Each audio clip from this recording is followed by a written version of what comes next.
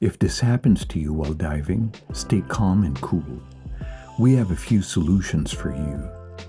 What you need to do is hold onto your mask, clear it, and push it in slightly.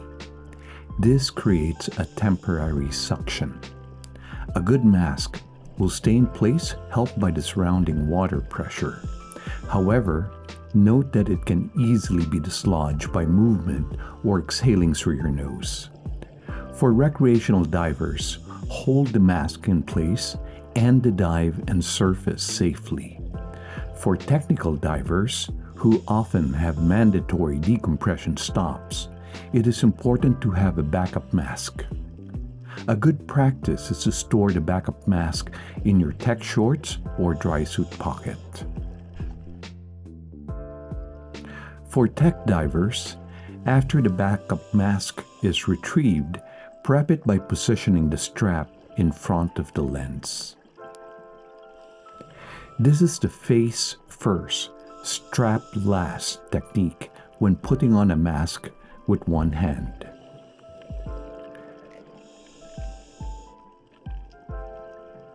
Remove the broken mask and replace it with a backup mask. Remember not to drop the broken mask in the water. Take it back with you. Adjust the backup mask and clear it. Press it in to slightly create a suction seal. Now pull the strap over the mask and bring it behind your head to secure it. A lot is going on, but it is important not to be task fixated above everything else.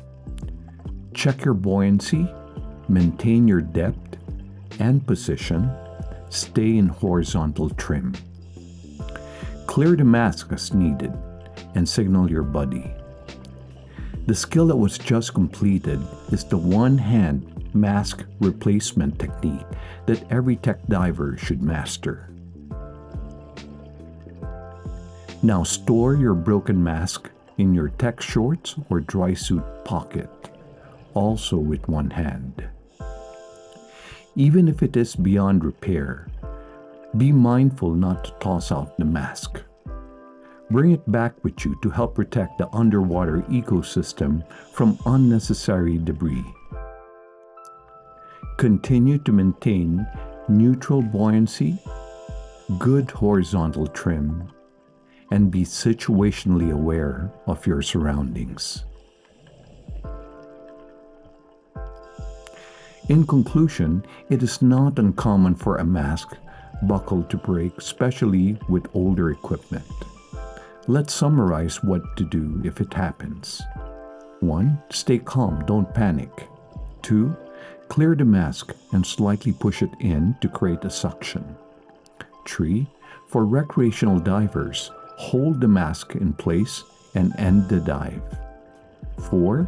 For technical divers, always bring a backup mask and master the one hand mask replacement technique. This important skill takes it to the next level and demonstrates a high level of proficiency and safety consciousness. I hope this video has been helpful to you. If you're interested in the equipment and gear used in this video, you can find them in the description below. Thanks for watching and happy diving.